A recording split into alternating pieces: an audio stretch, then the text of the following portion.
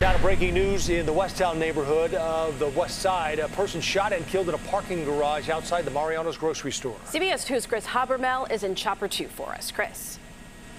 Well, Erica and Joe, gun violence on the streets of Chicago. This time it's on the rooftop parking deck of Mariano's here at Chicago and Damen in the city's West Town neighborhood. Chicago police have gathered up on that deck and they are around a car that is riddled with bullets. It's the only car that's backed into that cluster of cars up on the rooftop there. They're looking for any kind of perishable evidence. That after a 27-year-old man was shot and eventually killed. He succumbed to his injuries at nearby Stroger Hospital. Two offenders approached that car, riddled it with bullets. You can see that there's actual strike marks on the windshield and on the sides of the vehicle, and that uh, unfortunate uh, the, the victim was taken to an area hospital, Stroger, where he uh, succumbed to his wounds. Now, the, both of the shooters are not identified. They are being sought, and police are looking for any information that uh, anyone might have in connection with this shooting. A motive is too soon to be affixed to this.